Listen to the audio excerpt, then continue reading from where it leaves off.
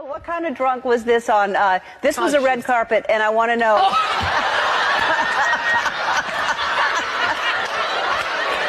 No!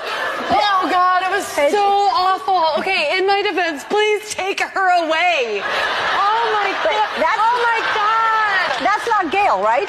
No, that's someone else. I just met her the other night. I feel like her name ends with an E.